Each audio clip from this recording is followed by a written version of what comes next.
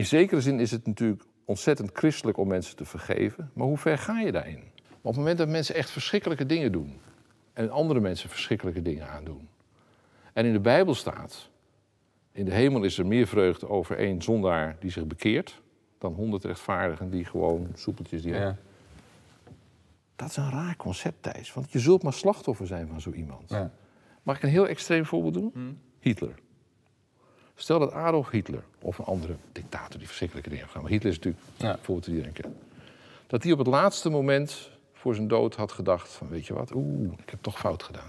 En ik bedoel het niet onderbiedig, ik hoop dat je snap begrijpt. wat je zegt. En tegen God had gezegd van, God, ik heb het helemaal fout gedaan. Wilt u mij vergeven? Dan, volgens de leer, Ja. zegt God dan, ik vergeef je. Jezus hing naast de moordenaar en daar Ja. zei hij ook tegen... heden zul je met mij in Maar het paradijs zijn. Ja, maar, maar dan komt Hitler in die hemel aan, waar dan volgens de regels ook veel vreugde moet losbarsten, want hij is een, eh, een bekeerling. Ja. Nou, even cynisch, die 6 miljoen Joden zien hem aankomen. Ja.